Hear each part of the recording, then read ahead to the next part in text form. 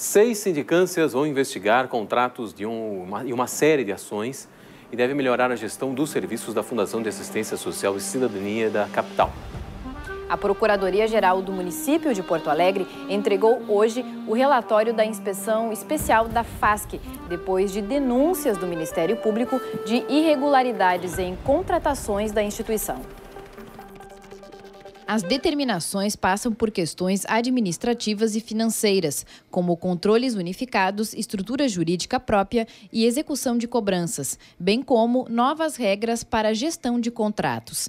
Os procuradores da PGM também indicaram a criação de seis sindicâncias para apurar os contratos com empresas de prestação de serviço e locação de imóveis. O prazo é de 30 dias e todos os resultados serão apresentados também à comissão de transição do prefeito Nelson Marquesan Júnior. Já o processo investigado pelo Ministério Público de contratação de enfermeiros e técnicos de enfermagem para os abrigos da cidade por contrato emergencial, sem concurso público desde 2012, as investigações continuam.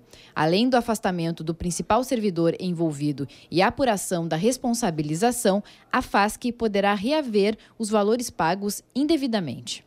Esses valores vão ser buscados na garantia do próprio contrato, porque houve, todos os contratos prevêem uma garantia, neste caso a garantia foi em dinheiro, e essa garantia então agora vai ser executada para que o município se ressarça e não tenha prejuízo. A garantia era superior ao valor que deve ser ressarcido à fundação.